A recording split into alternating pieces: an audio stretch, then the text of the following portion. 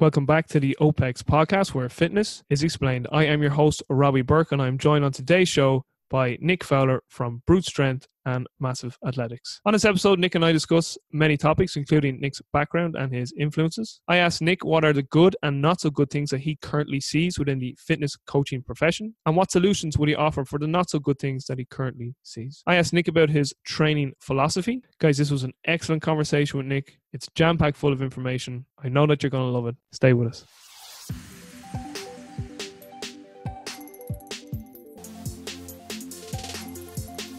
Thank you so much for making time today. I really, really do appreciate it. Just for the listeners who may not be too familiar who you are, just give us the background.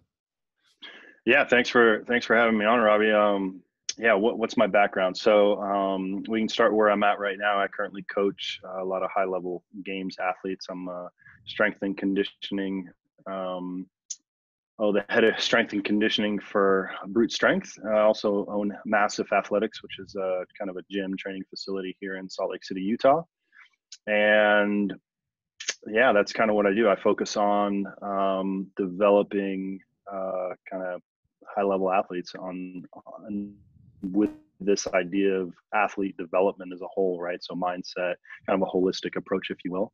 Um, and and where I've come from, man, that's a that's a we could get into the the weeds with that. But I got introduced to to CrossFit in gosh the winter of 2007 and so that was a little bit ago things were different. Uh, i got introduced to essentially the online.com somebody was like hey you got to go check this out.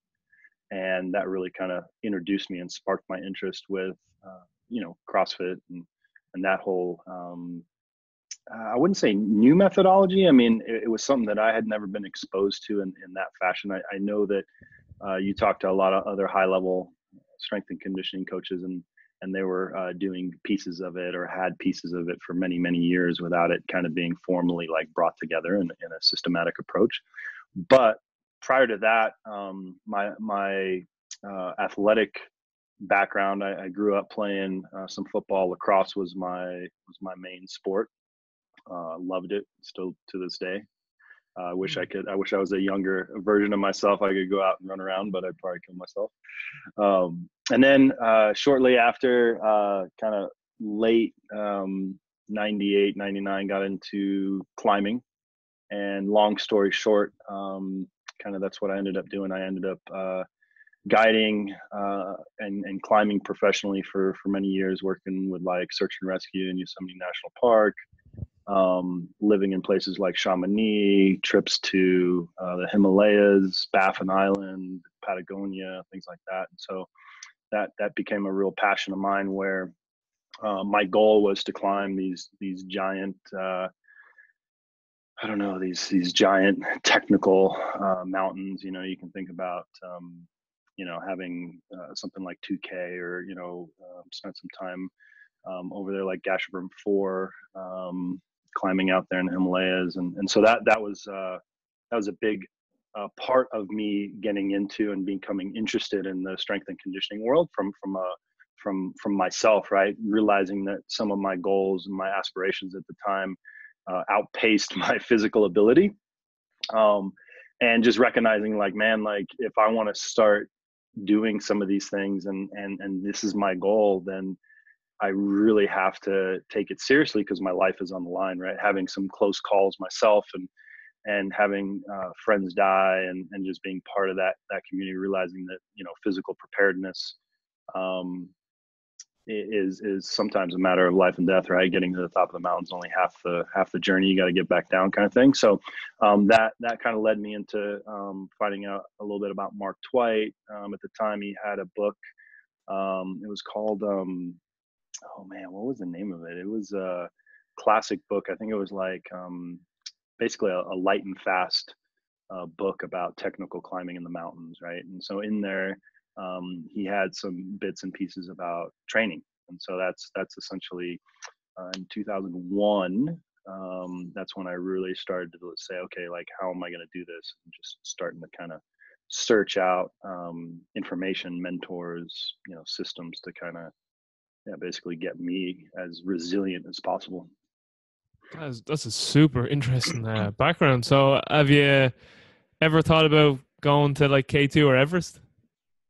Yeah, I um there was there was um uh, no not really honestly. Everest is is uh I always thought about it as as as just kind of a big hill. I mean, it's an incredible accomplishment, right, to get to the top of Everest. But um, even back uh, in in the early 2000s, it was still kind of this um, commercialized uh, experience. Um, yeah. I was I was I had a short stint up there on the search and rescue team.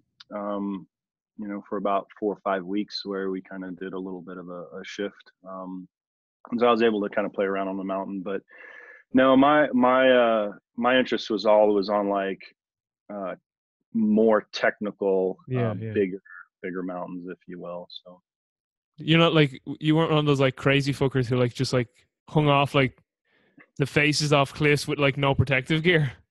Yeah, that that was me. Not not to the extent I'm sure you've seen like Alex Honnold uh new new movie called uh uh, yeah, so, uh, free solo coming out. But oh, that, if, if, you haven't, you got to go check that out. It's it's I think it's just coming out in the next couple weeks. But um, yeah, like I did some uh, when when I I spent a lot of time in Yosemite National Park and cl- ended up climbing uh, a lot of uh, a lot of El Cap, um, and I had some ascents where it was uh, mostly ropeless. Wow! Wow! And just uh, I'm fascinated by that now. Just like, can you can you explain like what what sensations are going through your body during those moments? I mean, it's all something I've actually wanted to ask people who who do that. Like, because uh, like I'm fascinated by that. You've probably seen that movie too, Man on Wire. You know, he walks across the World yeah. Trade Centers. Like stuff like that. It's just like, yeah, you're just like, what the fuck? It's just unbelievable. So yeah, can you can you put into words at all what what's what's going through the body and the mind? Yeah, my experience at the time, you know, I always had friends and family just uh, equate it to like, oh, it must be this like adrenaline rush, right? And that's what I was seeking, and it, was something completely different. Um, mm-hmm. I never, I, I never had like a rush, right? Um, only when when something bad was happening and it was not good, right? So if that ever actually came up, it was something that wasn't supposed to um, be there, and it was something that, that wasn't good, right? Um, uh, the the best way I can I can describe it, um, and it and it's been highlighted more recently is, is this sensation of just being in the moment, right? Like, um, mm-hmm. you know, there's uh, the Rise of Superman is a great book, and it yeah. talks about flow, the state of flow, the scientific um, yeah. mind mind state, and and that's um, you know, I read that years and years after all my experiences, but I I, I think that that is is probably the closest thing to it. It was this kind of meditative, in the moment mm-hmm. um, flow state where n- everything kind of dropped away, and and I was just able to do what I love without um, any kind of clear emotions or thoughts around it. If that makes sense. I mean, the mm-hmm. things I did with the mindset that I did them was was pretty amazing, um, but I never thought it was amazing at the time. If that makes sense. Yeah, yeah, man. I could I could talk more to you or ask more questions about yeah. that, but uh, uh, we'll uh, we'll stick to more the topic today. Which we can always have you back on, or we can always have more time to chat. But um, yeah. influences. I always ask the guests to come on who've been their biggest influences, and and I always make it a, a two pronged question. So, who've been your biggest influence, Nick, both professionally and then also personally? Yeah, man, that's a that's a good question. I think um there's just so many people uh, and milestones along the way. I think that I look at my life in, in in a series of stepping stones or chapters, right? And each one's been like layered onto itself. Um, you know, professionally is the easy one.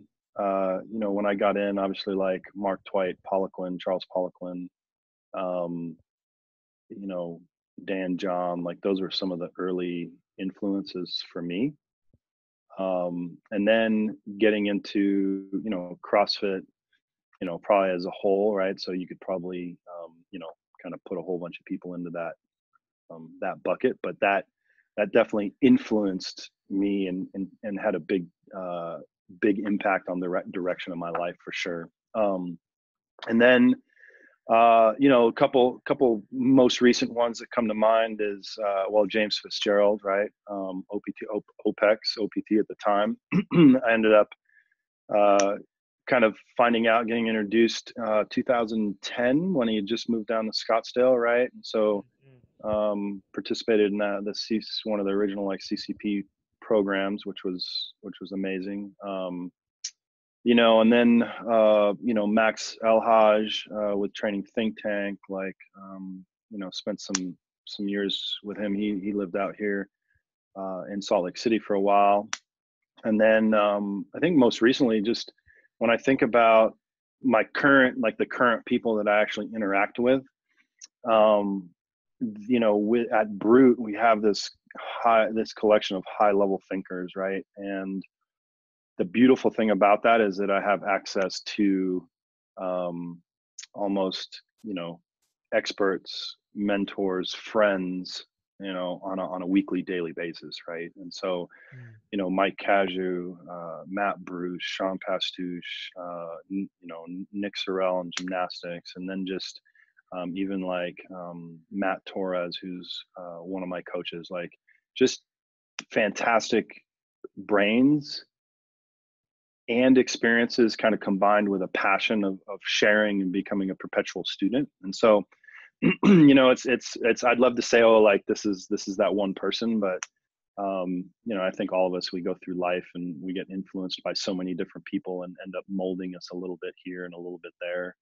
Um, and then in my personal life, the, you know, uh, I just, it just kind of came to me. I think that the biggest influence in my personal life is my kids. The hecticness of, of, of a home with with uh, two young daughters. But it's more from a perspective standpoint where just my perspective shifted in life and kind of what's important. And then understanding that um, you know to be a teacher to be a mentor to be a father right? To to um, yeah just ex- like see somebody grow up um, has just been one of probably the, the biggest like life altering experiences, right? In a good way.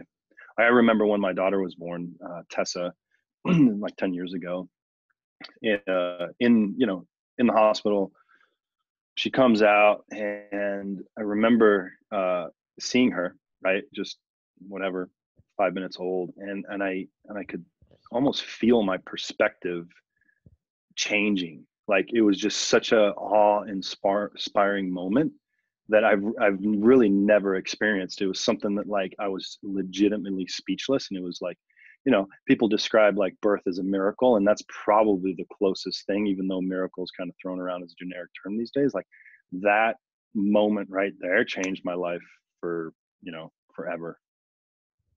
Uh, and you've two daughters, have you? yes. Yeah. How how old's your second? Be more different. How old's your second daughter?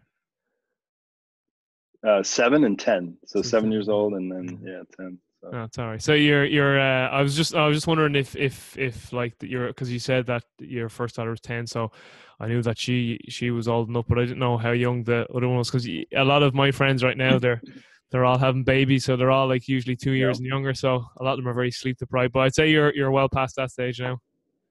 Yeah, yeah, for sure. Probably sleep deprived for other reasons, but um, self inflicted. Uh, yeah, those the like first couple years are are rough. Man, that tells you tells you about uh, yeah how valuable sleep is and and all that good stuff, right? Yeah. In, in terms then, just before we move on to our next question, uh, just with, with your daughters, like um, in terms of instilling a sort of active and healthy lifestyle, how have you gone about that? Yeah, it's it's a good um man, that's a good question. It's something that like my wife and I, uh, Annie, we always kind of talk about and brainstorm, right? So like um I think well one by leading by example, right? Yeah, um yeah. By by trying to I don't know, cook decent meals, talk about like why we're eating, what we're eating, making a point to sit down. I mean, we sit down every night or you know 99% of the time we're like have sit down meals um, you know talking yeah just talking in general about why you know why nutrition is important what portions of nutrition are important and then also um, there's also the the the physical component right staying mm-hmm. active um, you know one things we're i'm looking forward to is in in january we're going to go surfing for for a couple weeks and so brilliant yeah. Uh, yeah it's going to be fun and so um, you know part of that is you know talking to my daughters and saying hey like let's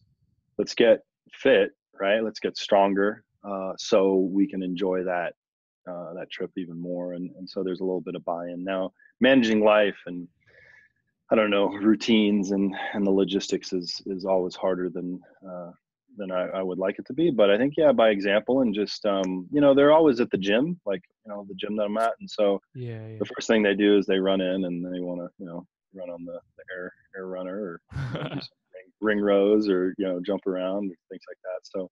Um, they're pretty active, but I think the the primary thing is their sports, right? Like making sure that there's time in their sports right now. Um, yeah, so um, they both ski in the winter.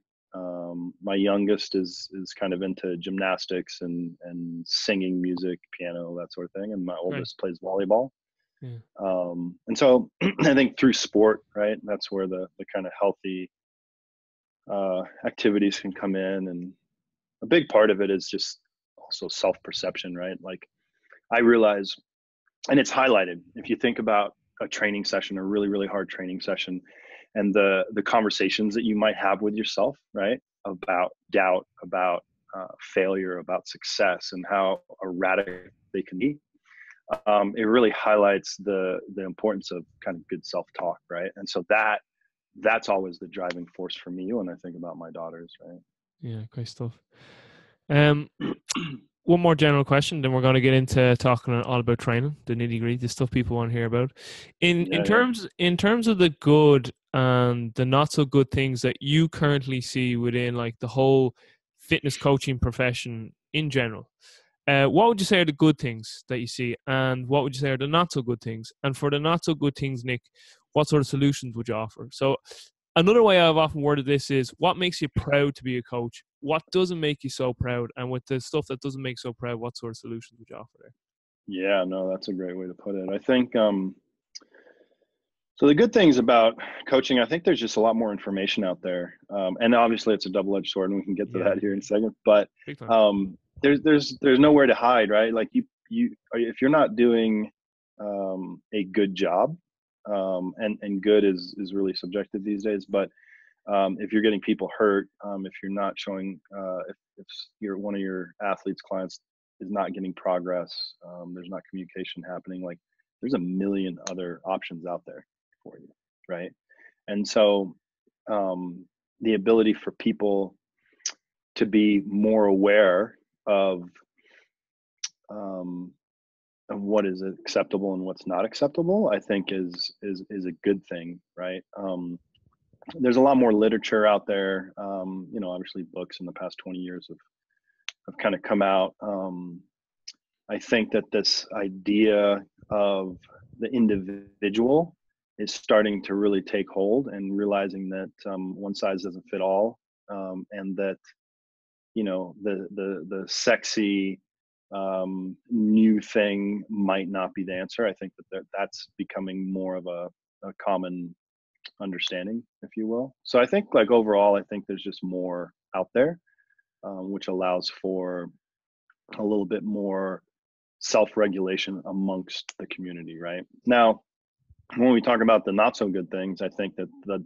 other side of that coin is that there's just so much stuff out there, right? And it's really hard to understand and hard to know um, what's right for you as an individual, right? Um, I think that because there's more out there and because it's so easy to become quote unquote a coach, that now everybody's a coach and a self-proclaimed uh, trainer, coach, whatever it is. When you know maybe the the individuals that they're coaching right that they're communicating with that they're offering services to don't match their experience knowledge and expertise right? Now i'm, I'm a big fan because i started not knowing anything right? Like i started just going into a gym and trying to figure out what the hell um, different things you know why i'm doing certain things. And if i look back to you know my you know what i was doing 20 years ago i'd just you know shake my head and laugh did, right did, did you use the smith machine as well I did. I did use this. yes, yeah, probably yeah, yeah. not correctly. oh, yes. We were we were all there at one stage, but we were all there at one stage. Yeah, exactly. And so like that's why I think it's important not to uh, you know, demonize like, oh, new coaches and they don't know. No, you just gotta. I think the big thing is that people are in a rush, right? I think people uh, want to be doing more than they're capable of doing, and there's nothing wrong with understanding where you're at and your limitations, and then um, you know, coaching those people and referring other people on. Like, I mean, not too long ago, I I referred somebody on, right? Like, I had a a, a pro strongman uh, lady uh, reach out to me and was like, "Hey, like I'm a, you know pro strongman. Can can can you coach me?" And I was like, I was like, "No, I, I think I know of somebody who can do a better job, right?" Um, and and I yeah, I referred that that person on, right? And so it's a hard thing to do. Um, but I think that that's that's the that's the the bad side of coaching there's just so much out there and i think um, it's it's really easy the chances of finding uh, a bad fit is is even better, right? I think that um,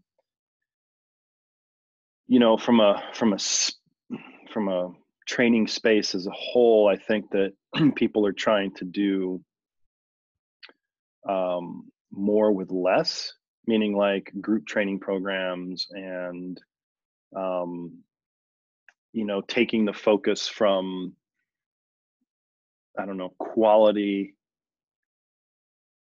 methodologies, implementation, um, ideas into the the shiny, you know, like fancy video that you're going to put with your program or whatever it might be, right? Where at the end of the day, like, yeah, those videos are really important, but if we're talking about long-term athletic development, I think that we're still pretty short-sighted as a whole in terms of like the fitness community, right? I think that um, you know people come in the gym and and they have a wedding in 60 days and they want to get ready for it it's like well sure that's a good goal but this idea of like okay well what happens uh the day after your wedding?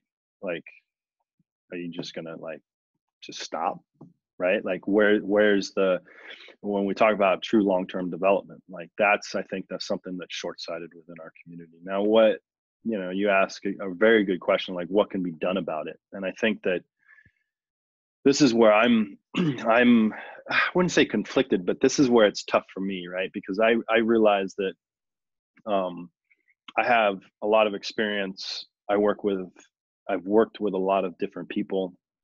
Um, I've been successful uh, to a certain extent, and so to me, I realize like I have a a responsibility probably share that if that makes sense, and and to share what what I've learned and what I know However, I don't, I never feel like I'm ready, if that makes sense. And and I think that um, I I just don't ever quite feel like um, I know everything or I'm ready, and and that's a good thing, right? Like in in probably you know asked me 10 years ago and it was a big um, point of concern for me right? Like oh man i'm not ready. I need to know more. Like i just need to spend some more time doing x y and z before i coach so and so or those you know that sport or whatever it is. And what i've realized is that um, to some degree um, you know you you as soon as you know you think you know everything you're you you're you're probably in a very very you know unhealthy spot right? So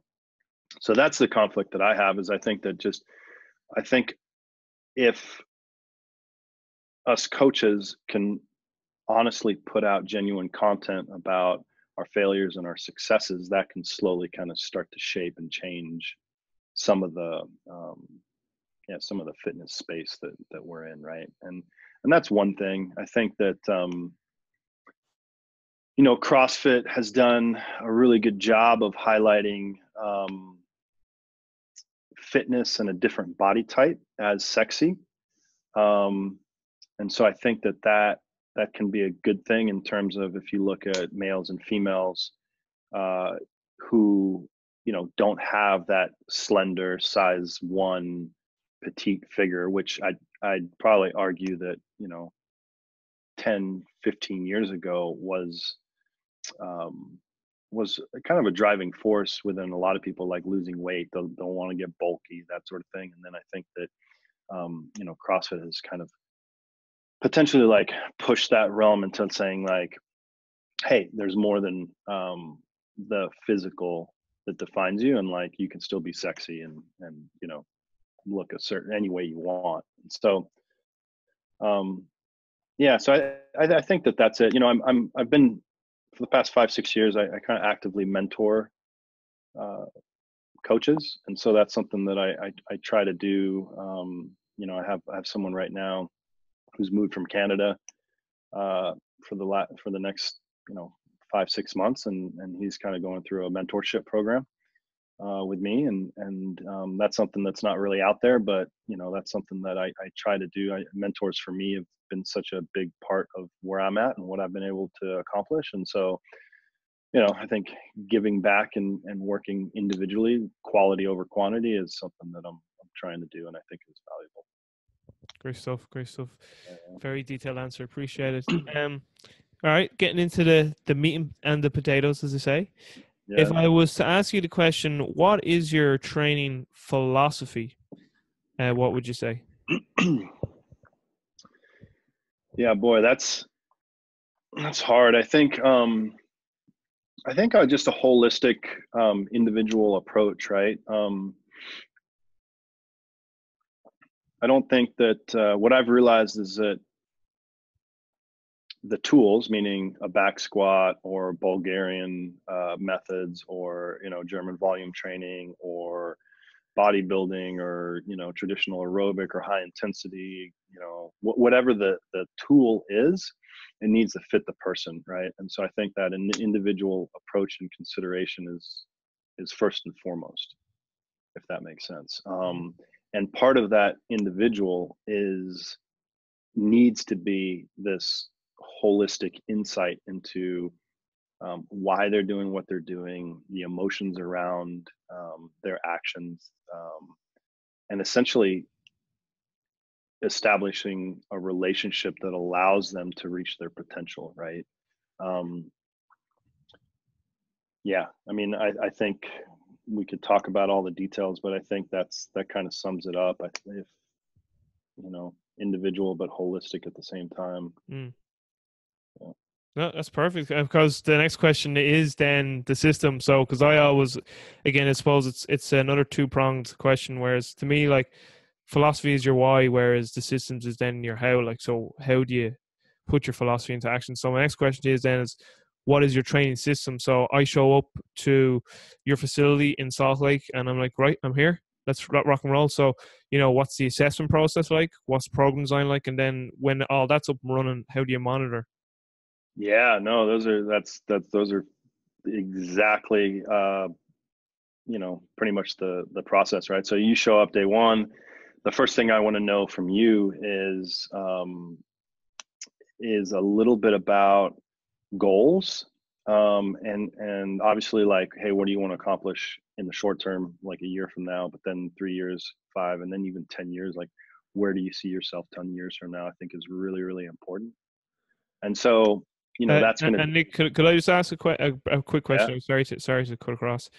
Um, do you find that that gets a lot of people off guard? Like when you start saying three and five and ten, you know, some people are like, "Whoa, geez, I was just thinking like about the wedding in sixty days," as you say. Yeah, I think that most people don't think past uh, three years. It's really unusual that someone has a three-year goal. Yeah, um, yeah. You know, I think I think some people think they have a three year goal, but it's really not defined yet, right? And so I think, um, yeah, when you ask about 10 years, it's like, man, I don't know. Like, people don't have an answer, right? Um, I might be alive in 10 years, man. Yeah, right? It's about now. Yeah, yeah. Um, Instant gratification. So, exactly. Um, so sorry, which, which might not be a might not be a bad thing, right? Like yeah, the 10 yeah, yeah. 10 year goal thought might be a distractor uh, on the the focus needed True. intensity right now. But um, yeah, for sure. And then and then I think just um, like I think about trying to understand the person. One of the one of the common conversations I have right off the bat. So it, it starts with a conversation, right? And it starts mm-hmm. with um, asking questions. It starts with understanding um, how this person um, kind of lives within their life. Um, so I, I, a common conversation is I just say, hey, like, tell me about your day like when do you what time do you wake up when do you eat what do you eat like just basically paint a picture from the start to the end of your day and you can find out a lot about somebody just by saying hey what did you do today mm. you hmm. know or yesterday and i think that that starts with um, with really the the basis for for anything right? So it, the reason i do that is is is to understand a starting point right? So obviously where we're going in the goal and a starting point of like saying hey where we are today but more about resource available resources right? So if you think about myself um, i don't have the resources needed to let's say commit to the olympics right? Because i, I just don't right I, I don't have the time in the day to commit or i'm not willing right to change my life right to basically have those resources to do it maybe it's money right maybe um, you need to be now traveling uh, to these sanctioned events if you want to qualify for the CrossFit Games, and maybe you just don't have the money, right? So you don't have the resource, and so kind of seeing where somebody's at and what they have available will will, will is is huge, right? Um, I think things like training age, I think like injuries. Um, I just think about like biological age. Um,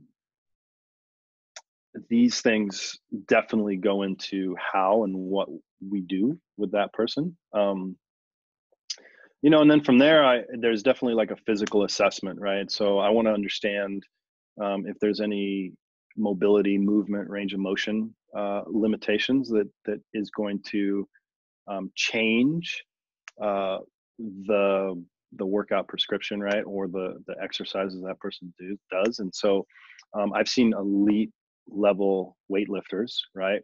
Competing at the world stage who have like almost zero scap mobility, right? And one of the biggest things is that if they do miss a jerk, it's always out front. And so, you know, you can kind of there's a lot of layers in between there and to connect those two it's, it's a pretty um, you know that's a long distance but those two were connected for this person so like by doing a proper movement assessment you know seeing um, scapular mobility, right? Seeing that um, that that mobility, the required range of motion is is I think a precursor. And it, what it does to me is it doesn't necessarily influence what I'm going to give that person. It influences what I'm not giving that person, right?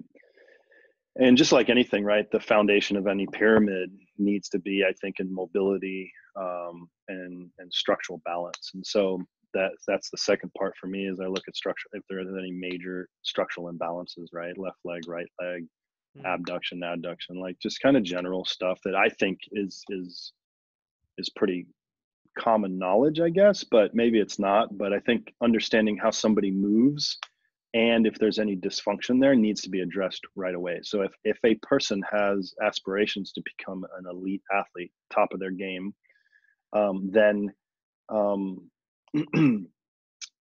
if that person is genetically gifted enough, then they might not need to deal with those structural imbalances, but they're going to pay a big price on injuries uh, and probably movement efficiency and potential down the road.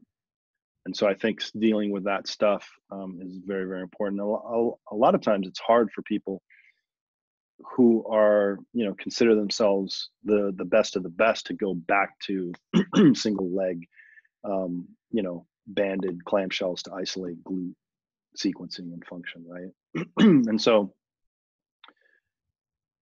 from there understanding like somebody's numbers relative to their sport so when i look at um, numbers and, and testing i'm i'm over the years, I've gotten away from this big batch of testing. I used to, um, you know, if you came to me as a new athlete, I used to um, come to the table with, I don't know, two to four weeks of testing, saying, okay, you know, we're going to test you. and those those tests are definitely appropriate for they they would fit the person and that person's goals, right? So if someone's going to run wants to run a marathon, they're going to look very different than if someone wants to be an elite level power lifter, right? Um, now, some of those things might overlap, but the sport specificity, specific, like the the specificness of the sport, is going to influence the testing, if that makes sense. Good, so, good, good substitute there. yeah, exactly right. um, so I think that the better way to go about it is I've what I've found and even uh, at the best and the highest level athletes is that they're really untrained for the most part. Unless they come from a very uh, intelligent coaching system or coach or individual that's prepared them right? Usually um, and this maybe goes back to a little bit of how you know our our culture as a whole is lacking is that i, I think that there's um, people don't understand what they're doing so they try to do everything and a lot of it and just hopes that something sticks. Typically if you have a gifted athletes it looks like you're making progress and things are working when really like anything would have worked for that person mm-hmm, right? mm-hmm. um, and and so i think that um, acclimating them to volume um, acclimating them to movement patterns and then once they're there then testing them and that testing can look like um, if i know on tuesday mornings are going to be you know anaerobic power uh, session right? And so maybe you know after two three weeks of like acclimating that person to intensity volume and load that tuesday just one of those tuesdays becomes an anaerobic power test right? And then uh, after that week, I can maybe even put another one in the following week, but then I can revert back to anaerobic power training and it still fits within the skeleton uh, as a whole.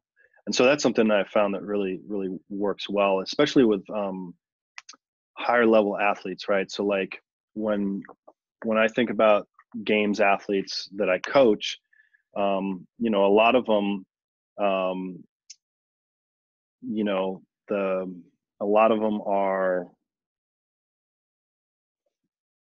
they have all the numbers and they have kind of i don't know for lack of a better term all that data out in the world if that makes sense. Now some things like mobility and structural uh, strength and those types of pieces aren't necessarily there. And so it, the higher level athlete you can be a lot more specific in terms of like every year when you show up these types of events is where you um, where we need to focus on, right? They become priorities. And so then the question becomes, okay, well, what about those events? And then those kind of detailed testing can really kind of come into, um, yeah, come into to view, right? Of like, okay, what are we actually trying to improve, right? And then that that kind of maybe gets down to a little bit about my style, right? I, I look at the pieces that we need to improve to improve the whole if that makes sense. And so like, mm. you know,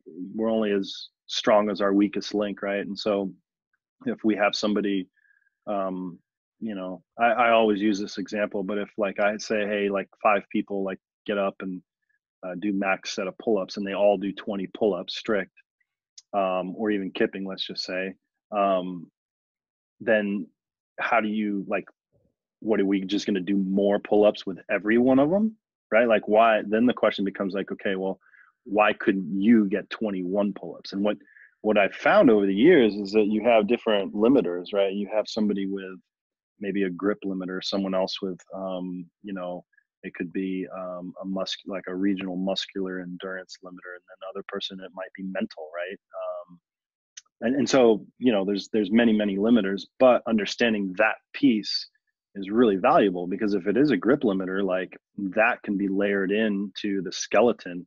And rather than just doing more of something, you're going to be a lot, lot more effective if that makes sense.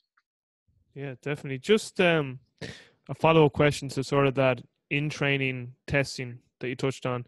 It's funny. Um, Dan Pfaff gave this great lecture. It's uh, it's one he gave a long time ago for the Canadian coaches. Um, Uh, Canadian Athletic Coaches Center, I think it was, but it was it was up in Canada anyway.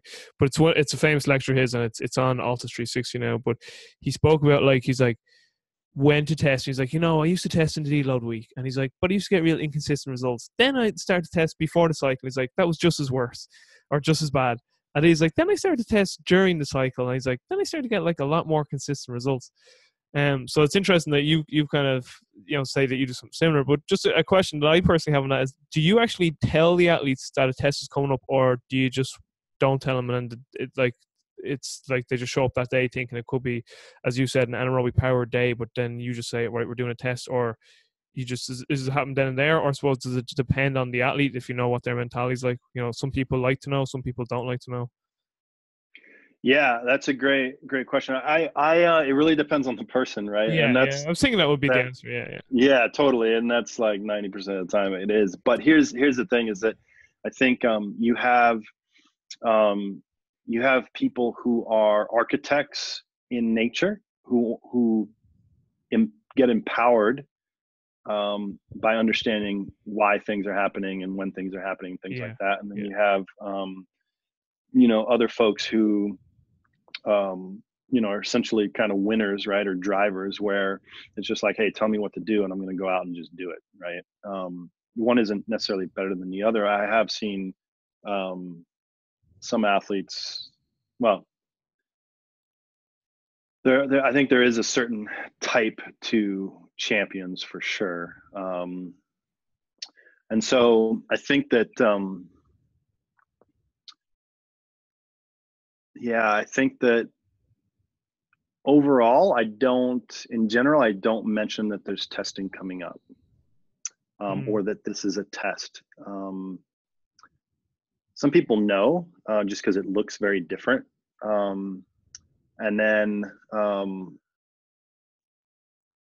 but yeah, it really, it really depends. Uh, what I do a lot of times is, is that I hide testing within training um, to eliminate like an emotional response, right? Yeah. So like um, now, you know, all my athletes who listen to this might be like, "Oh, that bastard!" Right? So like anytime I give like a three, two, one, um, it's really kind of like just to get an indicator of that heavy single without making it a test, if that yeah. makes sense. Yeah.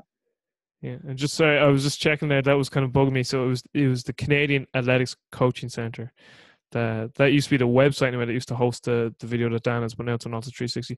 But uh, no, it was just funny is when you said that about sort of in in training cycle testing. So Dan kind of came to the similar conclusion. Yeah, but he he would just uh, I suppose another thing too that you can often use, and I think even a lot of coaches who mightn't even realize you do this and they actually are is like key performance indicators. So like even within your training. So Dan was saying that like you know he he would like he'd monitor like overhead backward throws like in terms of distance like just just during training like you're just uh, having a rough gauge of how far they're throwing that that uh that med ball and like you know there was a correlation with that and like certain speed indices you know so things like that or you know again like people might be just monitoring the power clean like you know so if someone hits their best double on a power clean you know, so you'll see certain like indicators within training. It might even be a test just within the training. Certain things are, are continuing to go up, and so again, like looking at key performance indicators, whatever you've identified as your KPIs.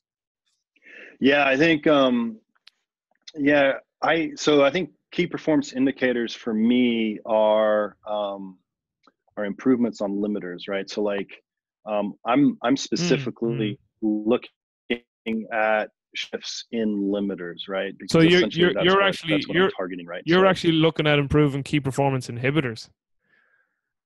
Yeah, exactly. That's a great way to put it. Well, no, I, I don't. I don't take credit for that. That's that. So Dan says KPI stands for two things. It stands for key performance indicators, but it also stands for key performance inhibitors. So that's Dan. Uh, yeah, that's Dan, yeah. Dan a genius. Yeah. yeah, that's cool. Um, yeah, I mean, I look at, I look, I because I'm trying to eliminate weaknesses, right? Yeah, in, yeah. in, most of the, the folks I do, right? Everything else is going to kind of get better, but if I'm not identifying uh, the weak links or, or the priorities that we need to work on, then um, I'm going to leave a lot on the table, right? Mm-hmm. Um, and there's always going to be something in there that's kind of hidden. And the, and the thing about inhibitors is that they bleed over into other things right yeah. so if you if you think and this is where assessing and testing is just so important to get accurate data and it's really hard, if not impossible, to get true, accurate data. Um, that if you interpret the results incorrectly, you're going to come up with a whole different theory, right? And potentially a whole different, um, like, you know, you're going to give them the wrong solution, right? So, like in the pull ups, right? If I think that it's an aerobic limiter when it's really a grip limiter, um, you know, then you can just see how training is going to go in two different directions, right? Mm. So, yeah, I I um yeah, initial testing. I think that I've gotten to the point where I can see someone progress in in a cycle without needing to know what their Yeah. one rep max is anymore, right? Yeah, yeah. That's Um, what that's what I was kind of getting at in terms of like Dan saying you could follow some trends within train that are giving you indicators of where someone's at. One hundred percent, yeah. Yeah. And I think it's a healthier way because if you if you throw testing in, true testing, where you need to deload from that, you're you're sacrificing. Uh, you're definitely sacrificing some training time, Yeah. right? Um, and so, you know, I I primarily coach CrossFitters, uh, you know, high level CrossFitters in, in in that space, and so what I've even found is that the individual tests aren't necessarily markers of that person's potential to win. Mm-hmm. sense, right? so if you think about, yeah, right, you, you the ability to put it all together, pacing, uh, you know, strategy, uh, just so many different things when you show up on game day. Like you can have all the best numbers in the world, but if you're not putting it together on game day, uh, you're not going to win. And so I think that what I what I like to do is either set up environments that mimic um, like game day or really use um, competition as a way to remeasure actually what's going on right Yeah, exactly. it's tricky yeah it's just tricky crossfit right crossfit games crossfit athletes like we live in a space where um It's a bit unknowable sometimes. yeah it, it is um it's although it's getting a little bit predictable and i think Yeah. that's where like focusing on the characteristics if you focus on the characteristics it becomes pretty predictable relative right Yeah, Um, yeah. Like there, there's there are certain things that will always, always show up in CrossFit. mm-hmm. Yeah, and that's the thing is like you know that um I don't know, like vertical uh regional pulling endurance, right? So like um like basically, you know, you can think about kipping pull-ups, Mm, even mm. muscle ups, um you know, even to some degree uh I would say that that maybe fits the obstacle course, uh rope climbs, things like that. So it doesn't matter if it's a rope climb or with a bar, like the characteristic that we need to improve, for example, would be like upper body, uh, vertical, like regional pulling endurance. And so Yeah. it doesn't matter whether the tool, right, is X, Y, or Z. If we're improving those characteristics, then there'll be a know, tran there'll be a transfer or carryover. yeah, exactly. Now, when we look at the like sports specific skills, like, um, then that's different, right? Like the Yeah. skill to actually climb a rope and get better at that rope. But Yeah, yeah. Just um, you touched on strengths and weaknesses there. It's an interesting conversation, you know, because people bring up, you know, should I, you know, like how much you focus on the strengths and how much you focus on the weaknesses? And a really good thing that uh, you know I heard and, and learned from Stu McMillan and, and again from Dan Pfaff is they would spend the earlier part of an off season really working on those weaknesses or those key performance inhibitors, and then as they got kind of got closer to the season, they would start to kind of focus again on those strengths of the athletes because they felt that like from a psychological standpoint it stood the athlete well and that well you know i worked all off season on my weaknesses they've all risen and now we're just kind of putting a cherry on top like just spicing up my strengths again because i suppose a key thing is to that if someone does have a proclivity or an essence as james would say um that really is you know a, a key performance indicator for them in terms of it is what makes them who they are it is also important to to do a little bit of work there, maybe more so even just mentally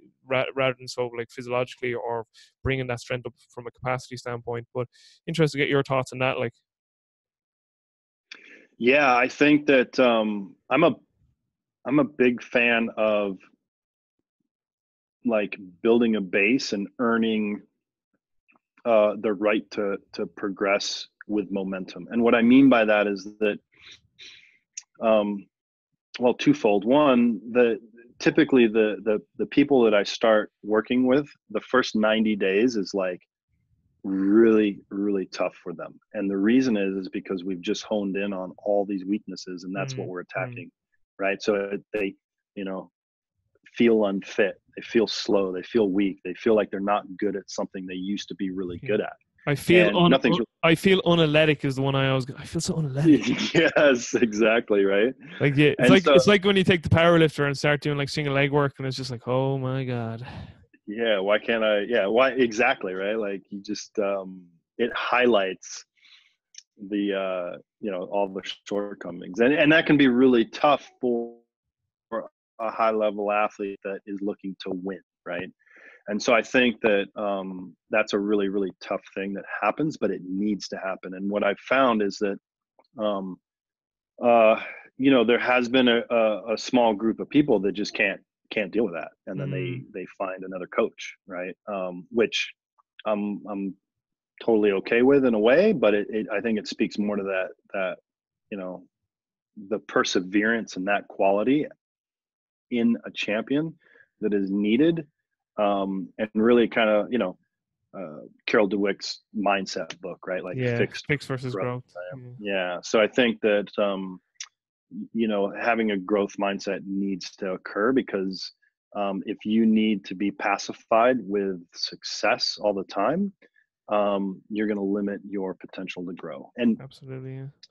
So I, I think that um, you know that's one thing. I think the other the the comment I kind of opened up with about earning the the right to like um, have momentum, meaning like a lot of people come untrained um, in from training systems that are undeveloped, right? So yeah. the need to uh, increase volume slowly into an actual like working capacity to build resiliency to be able to recover uh, and then to be able to add intensity isn't happen overnight right? Mm-hmm. and so mm-hmm. um, what that what that might look like is you, you gotta know, you gotta slow cook that shit.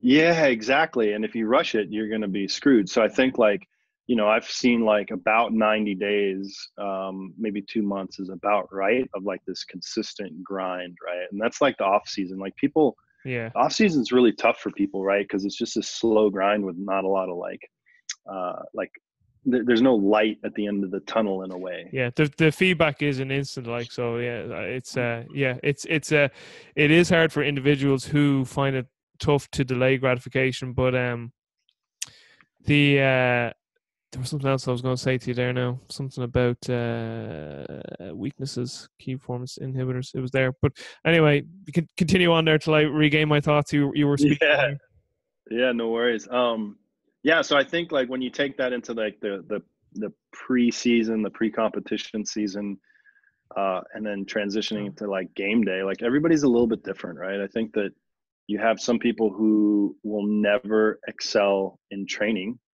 um, their numbers don't in training they don't represent their uh, true potential their capacity their their you know their performance but you put them on a, uh, uh, you put them out on game day and they're like blowing you know they're pring everything they're blowing mm-hmm. everything away like and and then you have the other uh, type of athlete and i'm generalizing right but you have someone who excels in training um, and then gets out on game day and you know they'll be five pounds less than their PR, yeah, the, you know whatever it is, right? And and one isn't better than the other, but I do think that like becoming and being a game day athlete is really really important to the success uh, yeah. of that individual. And so um, that kind of goes into like, well, do you build confidence or do you not build confidence? I think it depends on which archetype you kind of fit into, right? Um, Absolutely, yeah, yeah, big time. Yeah, and uh, sorry, yeah, my, I regained my thought there now and made a, a note of it just to be sure. What I was going to say too is, like, you know, you were saying that it can be very tough for an athlete in those initial, you know, sixty to ninety days to sort of like really buy into just working on a weakness because again it, you know it, it can make them feel so inferior to to what they're used to feeling and again if all they ever work on is their strengths well then all they ever work on is is something that gives them again instant gratification rather than working on the weakness which again is such a delayed gratification process. But i think from a coaching standpoint this is the point i wanted to make was it really comes down to us as coaches educating the athlete and how we how we sort of uh, shape their perception of that situation. So like the way I would see it is like, you know, if you say to them like like think about it, like think about how far you've gotten and you've so many gaps left to fill, like how good you're gonna be when these weaknesses like start to become strengths. You know, so when, I think when you if you can word it or change change the uh, the perception the athlete's mind of seeing these as obstacles and and rather see them as opportunities like so like you know if they have such gaping weaknesses or big gaps within their sort of development and like you could say to them listen you've gotten this far and and you are this good and you have all this to, to work on like this is amazing like this is so imagine how good you can be like the potential that is still on the table here is incredible and i think if you got it across that they're like oh my god like i'm going to be amazing so it's yeah. just you know, it can help with buy-in. Uh, so the big thing I'm trying to say is like it really comes down. I think not really comes down, but I think a large part of us as coaches is that education piece in in that how we can change their perception again, kind of getting the athlete to change their mindset of oh this is a fucking massive obstacle to like whoa this is a fucking huge opportunity.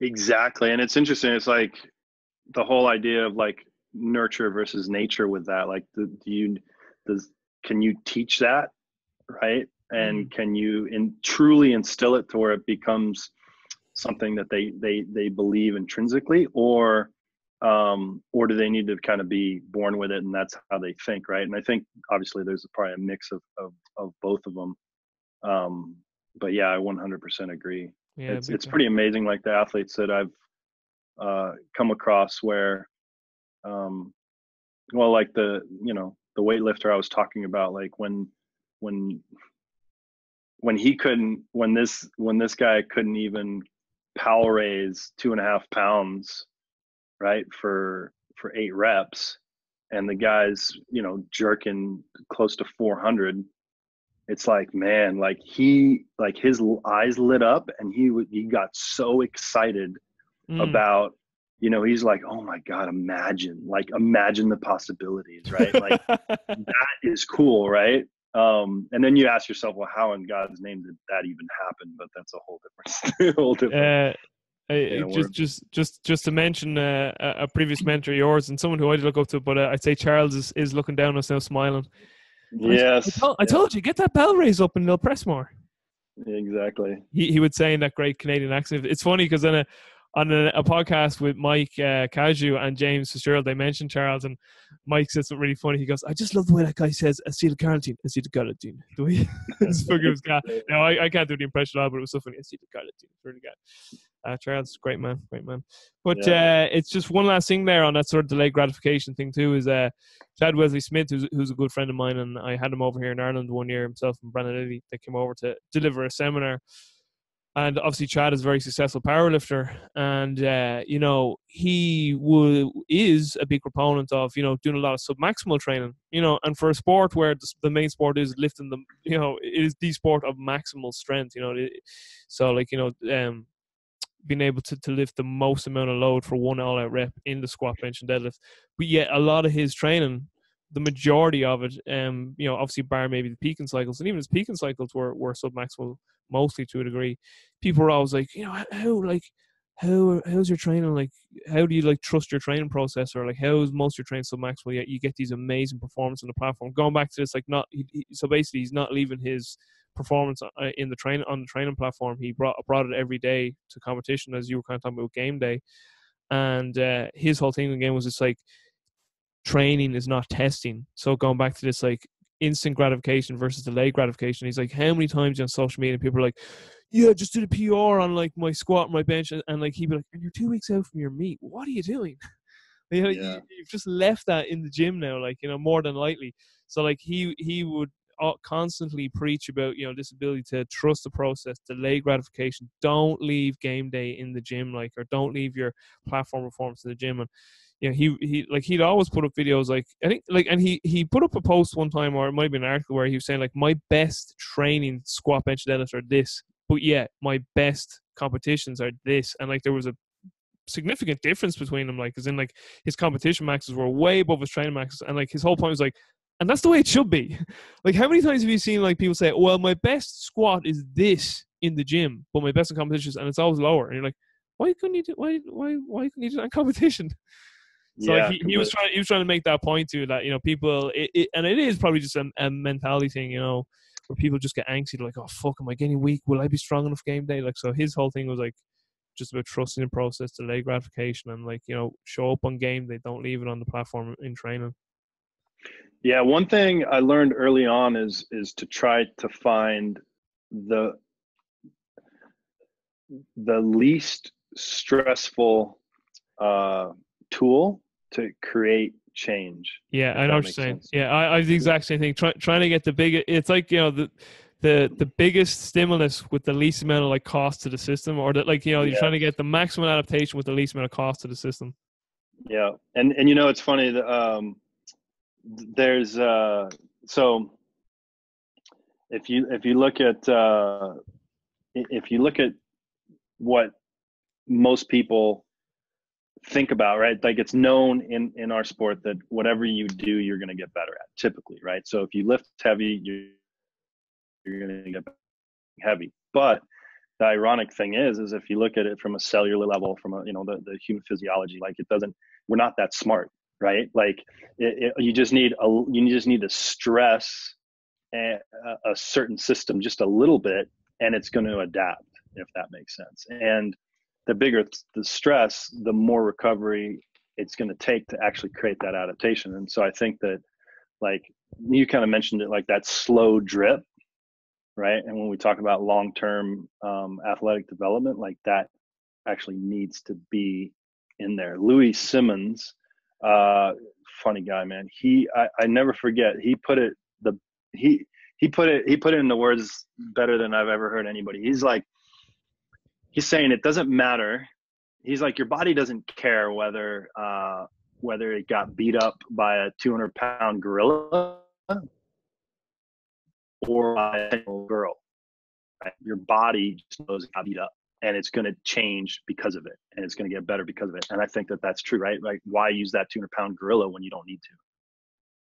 Yeah, so you, you broke out a little bit there. So what Louis' example was a 200 pound gorilla or a or a A 10 year old girl. Or 10 year old girl. Yeah, yeah. you're right. You're right. Louis is gas. I I was I was at Westside three years ago and I got to meet the man. So uh, yeah, he's an absolute absolute legend. Bought, bought me breakfast. So Mm. he's a really really nice dude. But uh, and he's hilarious too. But again, like uh, he's you know he's he's someone we owe an awful lot to. I know like a lot of people have criticisms for him, but again, like we, we do owe an awful lot to Louis. He he definitely pioneered a lot of stuff and and he's had some great ideas in fairness to him. But yeah, he's a great guy. Great guy. Have you ever been to Westside? I have not, no. No, you should go. Yeah, it's great. I don't know for sure, Yeah. Yeah, it's great. It's it's it is it's a great place. But uh, his right hand man, like the guy who looks after basically everything for him, is an Irishman, Tom um, Tom Barry. He's from Kilkenny here in Ireland, so I'd have good con- good contact there with Tom. Obviously, being a fellow Irish man. But uh, nice, man. another question I'd like to ask, but we're running a little bit short on time, so we, we might do it another day. Is like, how do you monitor the training process then? Because I have a few other questions here I want to get through. So if that if this question is going to be a you know if you think you need like a, a good long answer to it, we we can attack it another day. But like, do you do you use RPE? Do you use HRV? You- like, how much of it's conversation with the athlete? Um. So what what are you doing from that standpoint? Yeah, I think it's it's kind of all of it, right? So like all the pieces go into creating a big picture. I think that conversations with athletes are some of the most important. Um, the people who train on site with me, um, having people kind of move from all over to train on site, and that's a huge, like huge advantage because they walk in the gym, you can look them in the eye and and know if something's not right, um, and then that leads to a conversation. Uh, remotely, it becomes a little bit more challenging Yeah, yeah. because uh, everyone needs to be a little bit more emotionally intelligent um, and communicate better, including myself. So it's like asking the right questions um, and really relying on saying, "Hey, like, hey, how are you feeling today?" And understanding that if they're not feeling great, it, it doesn't mean anything, right? Um, so not putting meaning towards it. Um, HRV, I think, is a good a good tool. Um, it, I think. Um, the whoop is a really interesting um, interesting different standpoints i think a heart rate monitoring uh, piece it's not great um, but i think as a way to start conversations about lifestyle with the athlete is fantastic. So it'll bring awareness around sleep recovery to the athlete. And so just having that awareness and it being more on the mind of that athlete change will most likely occur. Also if something's not right it pings me to say hey like how are things going? Right? When i wouldn't have normally like maybe asked them like hey how's sleep going? or uh, how's family life or you know those sorts of things so i think it's a good tool Do you get your athletes to like track that and send it to you, like in a spreadsheet or anything like that, like sleep? or, um yeah so whoop has a has a i don't know what they call it um i'm just privileged enough to be on like i, I created a team and so essentially yeah, like like a dashboard.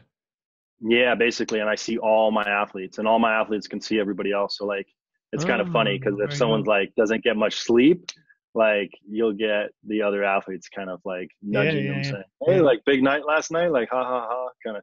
So it's it's it's good. That's gas. But also too, you can make competition out of that. Like you know, I got eight hours, you got seven. I'm beating the motherfucker. yeah, of, and it also goes the other way too, because I think like right now there's like I think one one percent recovered is like the lowest or like 2% maybe and everyone's like oh i wonder if we'll ever see a one. Like what happens when you get to zero? You die? Like um that's gas. kind of thing. But it's, yeah so who knows? But yeah and i think i think just training right? Like um understanding uh, having a sophistication around uh, and a deeper understanding of why you're developing and structuring cycles the way you're you're writing them is really really important because if something doesn't go as expected it's a cue to ask questions of saying okay well why why hasn't it gone you know well and i think that that actually is probably one of the best athlete monitor systems only because it helps you monitor yourself as a coach if that makes sense like I think one of the biggest advantages, a lot of people program a week at a time, a couple days at a time, and, and I tend to do that. But I do write um, bigger skeletons that cover months at a time. Um, I might even write a cycle that um, that is, you know, maybe two, three, four weeks ahead. And what I learned early on is that that's really valuable because you're putting yourself out there for yourself, saying, okay, this is the plan this is what i think is going to happen and then you let it happen for four weeks and at the end you're like okay well what happened and you're like oh man like that didn't go as planned or like oh wow like things and then then you start uh, being able to identify trends um, with certain types of people and and you start uh, being accountable to yourself uh, a little bit more and i think that that's one of the best tools uh, out there honestly is is is taking that risk, planning ahead for yourself as a coach. Mm, good stuff. Uh, and then just maybe a final one on that is: Do you use any form of auto regulation uh, in terms of like just a, a, subjective RPE, or do you use any like velocity based stuff in in terms of probably this would be more so in like any of the strength pieces involving like um any of the power lifts because it's kind of hard to use RPE with weightlifting, but you, you could use RPE too on some of the metabolic pieces too. But yeah, do you, do you use any form of auto reg? And the reason why I asked that is too, you, you probably know uh, Evan Peikon. Um, yeah, he's in training. Think like we had a good conversation about this in terms of auto regulation. Now, it was our conversation was around like you know basically strength development. You know, so whether you know again it doesn't really matter the tool, but say you were doing sets of squats or deadlifts or benching or whatever, and basically instead of like saying, well, we'll just do five sets of five today, but how do you know like that guy or girl they needed like eight sets of five to get the adaptation that day, or maybe another day it was only four sets of five because depending on where they were as an organism that day like so evans speaking that he's gone a lot more towards auto regulation because he gave like this outrageous example of he said he one of his athletes and like he's like this guy is strong like he had he had like a, a max squat like in the high 500s or something like that i think but he's strong anyway. And one day he did like double double double figure sets of fives uh, at over 85% of his squat. And like most people hear that and they'll think, oh, this guy must be a weak guy, type 1 fiber, and he can do a lot of like high percentage of his one, close to his 1RM. Do you know what I mean? But everyone's like, no, this guy like was strong. Like he's definitely not, his essence isn't like a slow twitch guy. Like he, he's bas- basically like, he's like, most people say this guy has uh, low uh, neuromuscular efficiency, and he's like, he, you know, this guy is from a neural standpoint is is fairly strong. Like he'd be actually more towards a type two, and yet at eighty five percent, of his max in the squat, he was able to do like double figures of fives. Like, and most people would say like that's impossible. And he's like, Bevan's like, I've seen this. So he's kind of speaking towards more like this is probably why auto regulation is a better model to go to. In terms, in yeah, terms, I, of, in terms of that example now, anyway. Yeah, yeah, and I agree. I think that auto regulation is something that that I I unless I know the athlete really really well, um, most of it's auto regulated, like six to eight reps at you know you know whatever. Uh, and then I just have to, you know, it takes a little bit more time coaching the athlete and getting the athlete yeah, to be intelligent, right? So knowing that if they consistently, if you give them six to eight reps, for instance, and they consistently get eight reps, they're not going heavy enough, right? But then also letting them understand that you know if they didn't sleep well the day before, you know if they had a big day the day before uh, training day, then they're going to show up, and if you did prescribe 87%, you know it would it, it, it's arbitrary, right? It's so subjective, and yeah. I think it's interesting. Evan's example just goes to show like how how little we know about Oh, nothing. Um, what we're doing, right? Yeah. Because yeah. because um, he because sorry to interrupt as well. Because the example he was also given to, he's like, you know, you you look at the classic Prilepin's chart, and everyone's like, you can only do these amount of reps and this amount of total reps with this amount of percentage. And it's just like, well, first of all, that chart was made for elite level Olympic weightlifters who were on a shit right. ton of fucking juice as well. And he's yep. and he's just like and he's just like it, it, like to take that and apply that to everyone is just like and, and you're right though. Sorry to interrupt you you're right. We know we basically know fuck all like yeah. And that's the thing. It needs to be uh, i think empirically driven to some degree right? Like you look at an individual and you say hey i'm going to give you eight reps uh, and see what happens right? And then.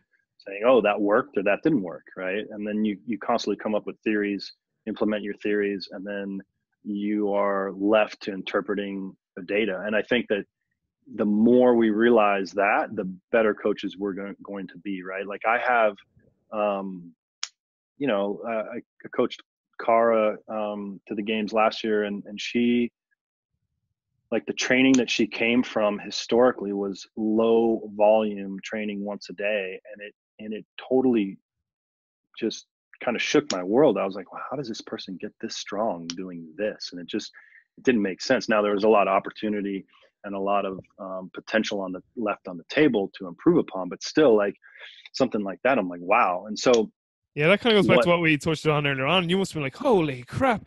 Imagine the potential. Exactly right. Yeah, completely. Um, yeah, so I think that uh, yeah, Evans Evans I think onto something, and that's uh, if I know an athlete really really well, I will give them percentage. Um, but it usually takes a long time uh, to to get to know it, right? Get to yeah. know that those. And um, but you're even using like an RPE, it isn't it isn't something you, you want to use with a beginner either because again they just they, they don't have the training knowledge built up to really know how to utilize RPE either. But it's funny actually you mentioned six eight reps there like the, the brackets because I, I, I utilize rep brackets too, which in and of itself is sort of an auto regulation. But it's as I've matured more as a coach, the more I've kind of gone to like you know, given a bracket sets and rep range and kind of, you know, educating the individual. And usually, in fairness, I suppose like I suppose most coaches may resonate with this. It's kind of like when you have a beginner, you're a lot more pre- uh, um, prescriptive. You're like, just do this and this. yeah, just do this and this. Like you're like more exact. Like just do four sets of eight or whatever. You know, kind of with a with a with a beginner. Whereas someone who has that intermediate to more advanced sort of train age, you can be you know you can be a little more um a facilitator in that process. Whereas what I was about to say was, as I matured more as a coach, I sort of left it a little more open ended. Like you might say, like you know, three to five sets of like six to ten reps. And if it's if you're feeling great today, go the higher end of that volume. If you're not feeling so hot, go the lower end of that volume volume range. You know. So kind of giving a built-in auto regulation. That's just an example. I'm just saying, but or also as I like what Mike Tuchscherer does in terms of Tuchscherer would say like and he suppose is one of the sort of guys who's really popularized the RP model, and we've spoken about at length. Uh, he kind of has this model like the fatigue-based model, so he might say after you work up to a top load, and and that top load might be at a nine out of ten, whatever it is, and then he'd say right, strip off like five to ten percent of that top load and keep hitting this number of reps for sets until you it gets again to another nine out of so like so it gets to another nine out of ten. So like you might build up to like a set of five let's say 160 kilo squat and that was 9 out of 10 and he'd say right take about 10% off that squat now and keep hitting sets of 5 until the rp gets back up to a 9 so like you might you might hit so he calls them kind of sort of back off or down sets. So you could end up one day if, if you're feeling great you might end up hitting an extra four five six maybe even seven extra back off sets because your body was able to handle that stimulus. Whereas on a day where you're feeling really tired it might have just been your top set one more additional set with 10% off, you're like, I'm done.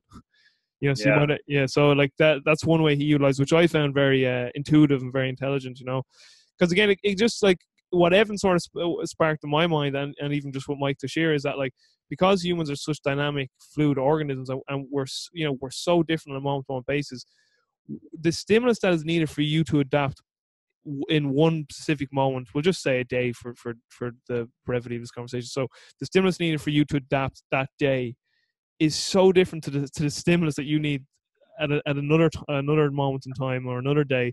So like it could be a lot less one day due to like lifestyle factors because again maybe your ability to adapt is has been compromised by poor sleep. You had a row with someone. There's just more fucking glucocorticoids floating in your bloodstream from a row you had the day before. And then vice versa, another day, like your system's like, I can handle a shit ton because I have calories in me, I'm sleeping great, life is wonderful, I'm in love with someone. So you might be like, it's going to take 10 sets of five today. Whereas in the shitty days, like uh, you get the three sets of five with the same load, and you're like, nope, not today. I don't have the yeah. reserves to adapt. So I just, I just find the whole like, we really just don't know how to prescribe volumes. Like we don't like Mike Israetel came out with a book there this year called How Much Should I Train? And like it is actually it, it's it's like it, you think you think it's such a simple question uh, to answer, mm. but yet it's so complicated. And like, how much should I train? It's like we really don't know. because yeah. because you were so such a dynamic organism changing on such like a, a moment to moment basis that like the volume needed for your body to adapt to a particular stimulus one day is so different. Now, obviously, there's general ranges and ballparks, but to really nail it down, we probably never can. And I, I, I know I said there earlier on a few minutes ago, like we really know fuck all when it comes to sort of just training and exercise and, and the whole game of fitness. Like I, I hope people don't take take my message as something negative because I think that is amazing. Like I'm I'm excited by that. Like we know so little, it's so good. Like there's yeah, so much more to to to get into. Like anyway, yeah. I'm I'm speaking too much here, and uh, I'll uh, let you uh, expand more your thoughts there, and then we'll wrap up.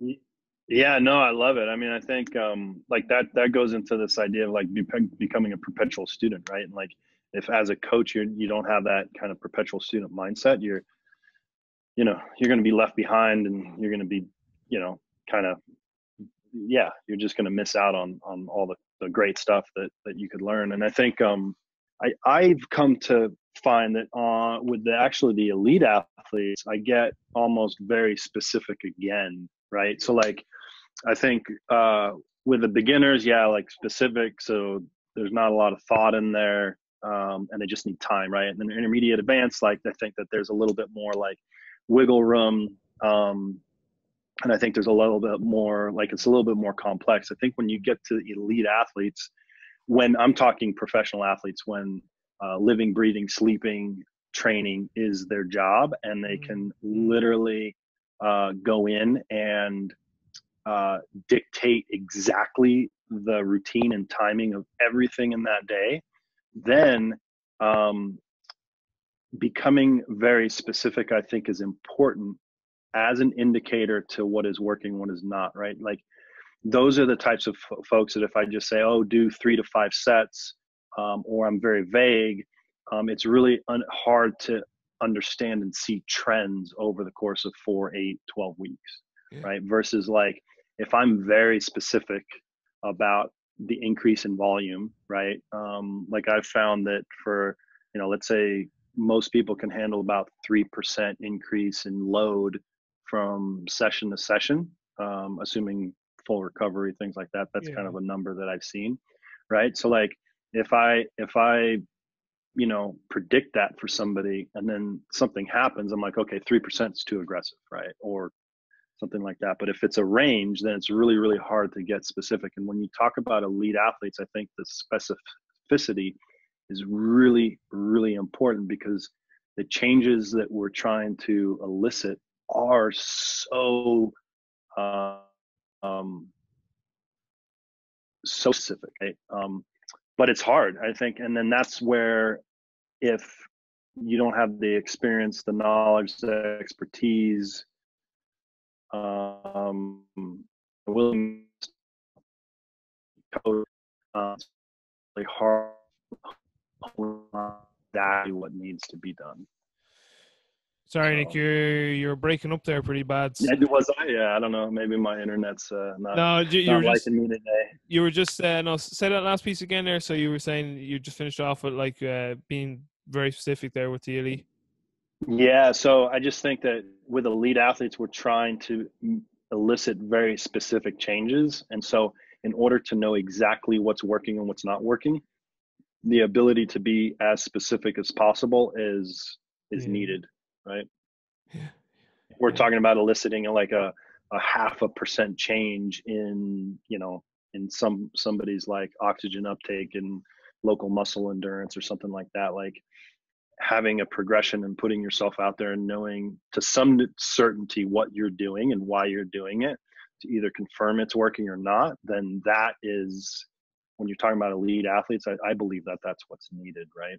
Yeah, yeah. Again, I, I I understand where you're coming from, but I again, it's just that we can't like we literally just can't be that like we're trying to be as objective as possible, but we still it's impossible. Like you know to to to actually because of the human One hundred percent. Organism that we're dealing with. Like because uh, I know just like working with the elite level sprinters at Altis, like with Dan and Stu. And being around them boys, like they were very much about having ranges for things again, like because they were just like they could show up one day and they might be able to hit, you know, th- these amount of accelerations and, and stay within this type type of time zone. He's like other days will come in and they're dropping off like after only you know a few accelerations. Like time to call it, no Yeah. good. But I look at that as uh, uh, open-mindedness and flexibility within Yeah. what you've written, right? I think I think that that is definitely needed, um, especially the the higher you get in terms of um, you know uh, when we talk about elite athletes. Uh, I, I just think that like what as a coach with elite athletes, we need to in in our prescriptions we need to be as specific as possible, right? Um, doesn't mean that you had to adhere to it Hmm. uh, through the eight weeks and ignore everything that's going on.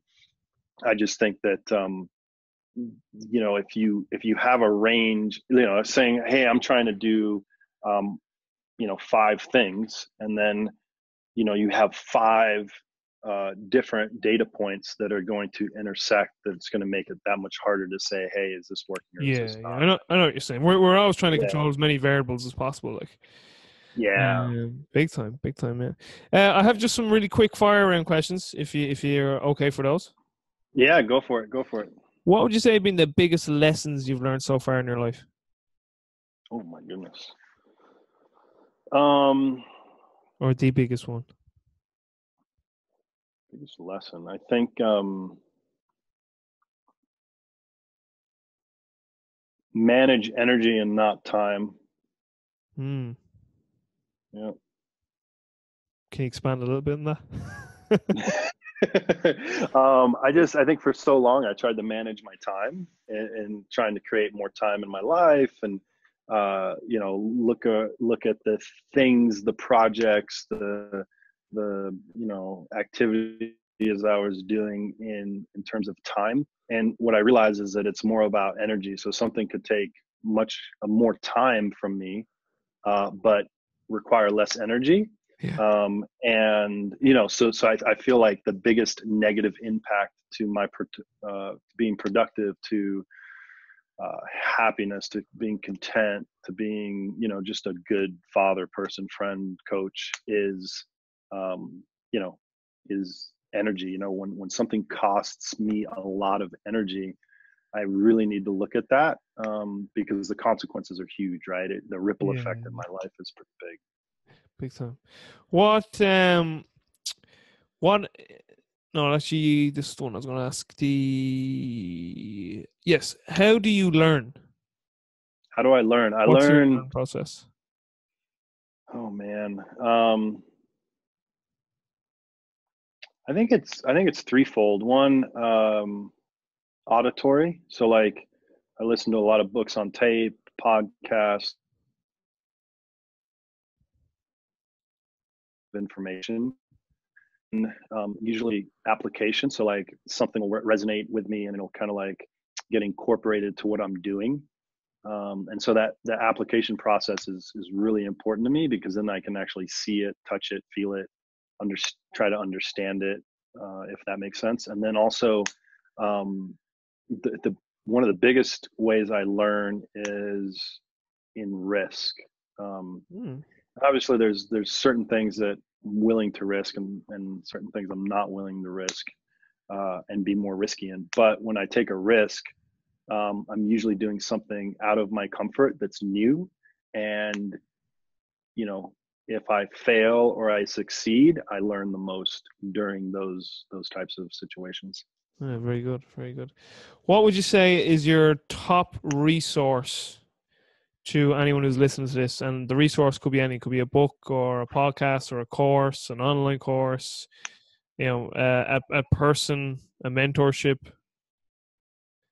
anything. And it doesn't, it does, Wow. it doesn't Um, have, it doesn't have to be limited to coaching. Let's say it could be anything. Yeah. Um man, I think biggest resource. I, I don't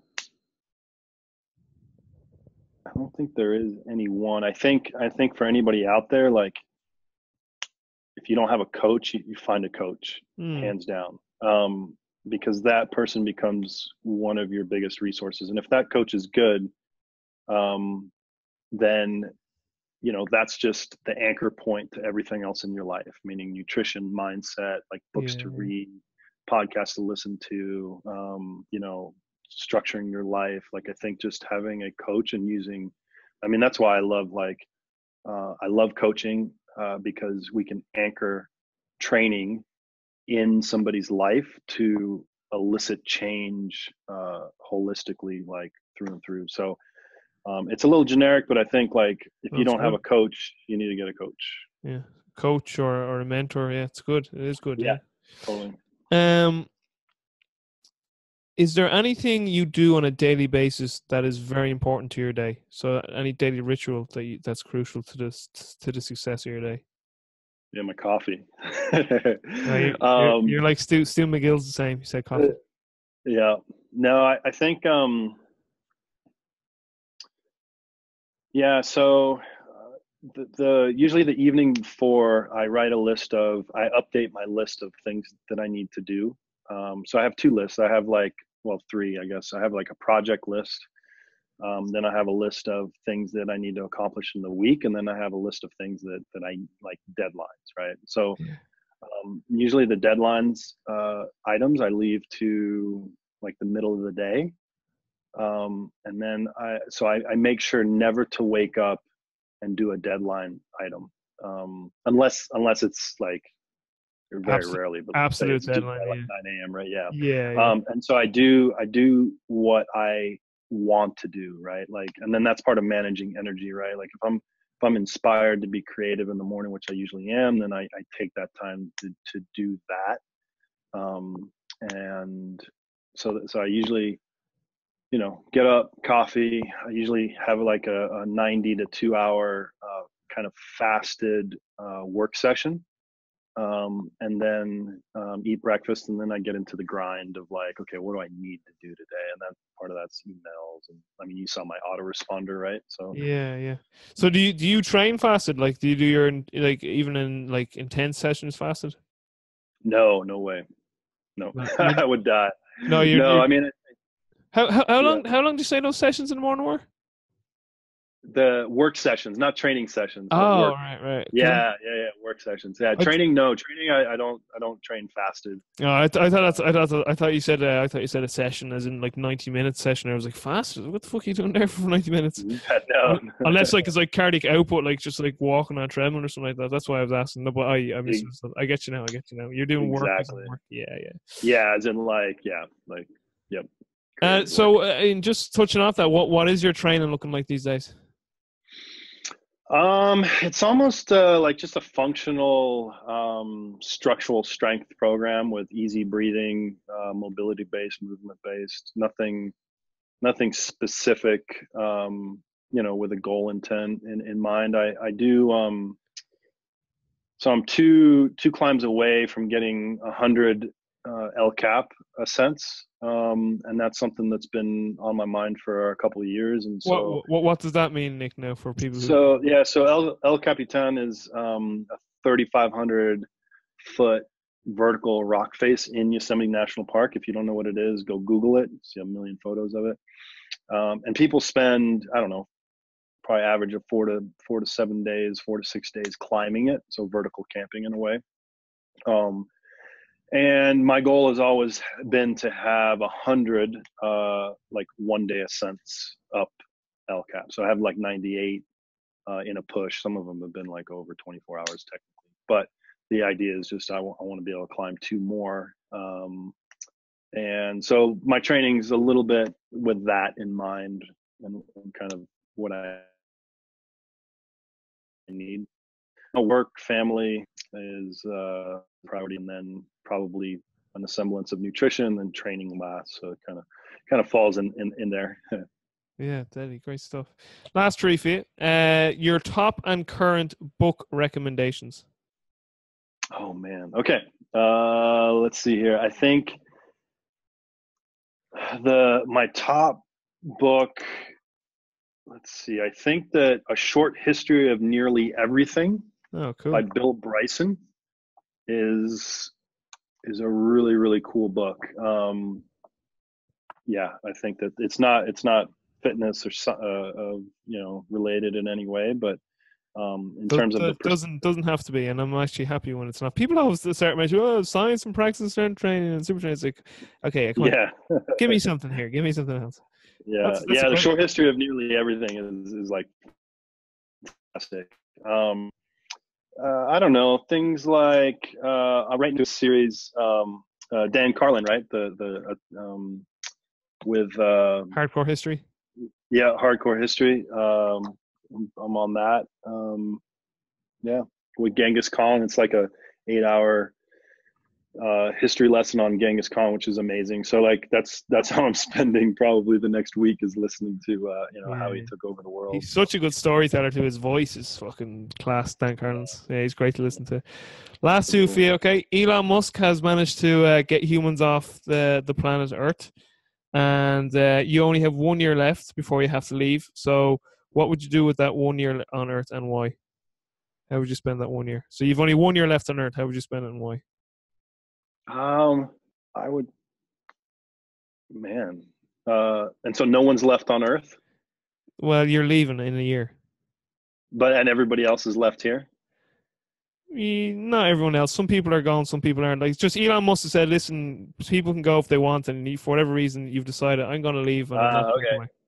Yeah, I think I would. I would try to catalog and like my knowledge, my experiences, and then be able to give it to people who are left here is one of the things. But other than that, I, I probably would. I mean, obviously, like spend more time with my my family, but I wouldn't change much to be honest with you. Yeah, um, cool. I mean, I'm in the process of trying to catalog, you know, everything I think I know, anyways. So probably just happen quicker. Great stuff. All right, last one, the big one. Uh, and uh, just uh, what I'll say before I ask, just be as authentic as you can in the moment, because a lot of people get freaked out by this and they start like panicking, like because they won't give a like a, a, a, a like a like the most outstanding answer ever. But anyway, I'm in Salt Lake City and I'm going to bring you for dinner and, I, and I'm bringing my bag of magical powers, which allows me to bring people back from the dead if I have to. And I say, Nick, we're going for dinner and you can bring five people to dinner, dead or alive. Who, who are you going to bring to the dinner and why? Um, I'd probably bring my family. So you'd be hanging out with my girls for sure because they're just awesome.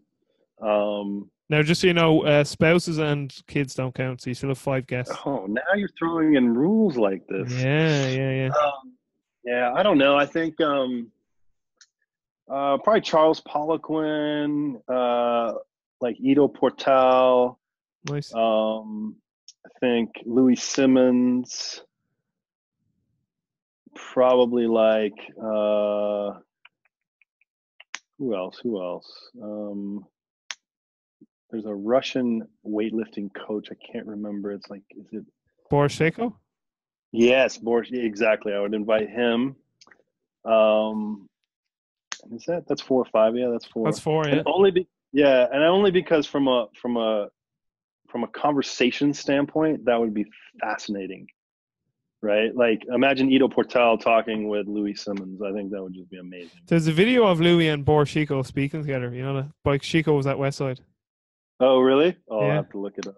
Yeah, I'll send it to you. It's very, it is interesting. It's gas because there's a bit in it where like she goes like, when we get close to competition, like someone's interpreting from him. He's like, when we get close to competition, we get really specific. And Louie like, really, we do the opposite. We bring our general work up, and it's just like, it's just funny to do them talking. That's funny. Yeah.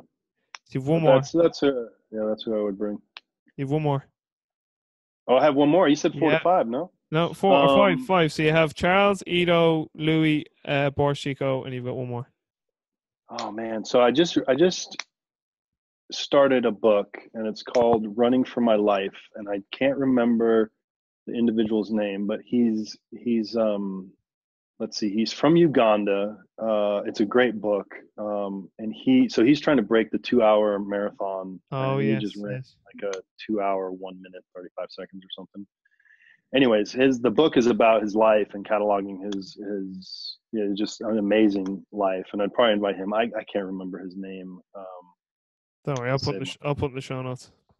Yeah, but yeah, I would I would invite him. Uh, I think yeah, he's still Yeah. alive. But Good stuff, great stuff. Nick, thanks so much for making time, and uh, yeah, I'll just wrap up here and I'll say goodbye to you offline. So, as I say to a lot of the, or as I end a lot of my podcasts now lately, I, I tell the listeners you're spoiled, You're getting all this information for free, very spoiled, very lucky. But listen, thanks so much for making time. I I really do appreciate it, and for everyone who's listening, uh, take care, and I'll talk to everyone soon. Peace. fanta- fantastic.